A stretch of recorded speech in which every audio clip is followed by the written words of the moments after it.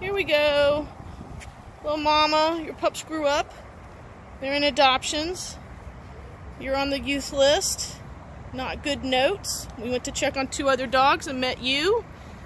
Pulling a little bit on the leash, but got out of the kennel fine, taking treats really well. And go say hi to Sophia. Hi. You say hi to Sophia? Oh yeah, she didn't even have treats. She didn't even have treats.